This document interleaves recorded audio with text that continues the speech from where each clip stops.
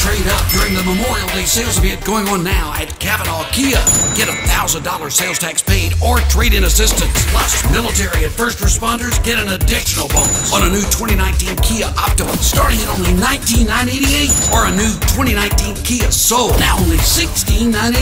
And all new Kias come with a 10 year, 100,000 mile warranty. Trade in and trade up during the Memorial Day sales event at Cavenaugh Kia in Jonesboro or CavenaughKia.com.